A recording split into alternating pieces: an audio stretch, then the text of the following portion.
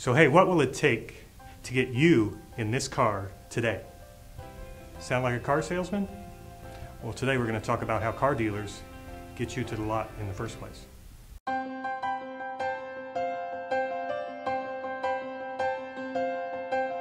According to a recent report from the NADA, that's the National Automobile Dealers Association, new car dealerships increased their direct mail spend to 11% of their ad budget in 2013.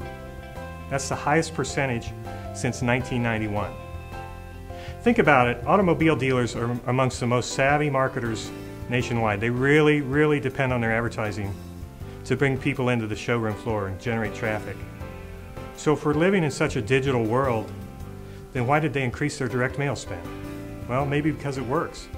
Across all channels, B2B, B2C, and everything considered, the Direct Marketing Association reports that direct mail generates about a 4% response. So, the least crowded inbox these days is your mailbox. When you're planning your marketing this year, don't forget to include this time-tested, proven workhorse of marketing, direct mail. At Next Page, direct mail is at the heart of what we do, and the heart of what we do is help our customers make money. If you'd like to learn more, contact us now.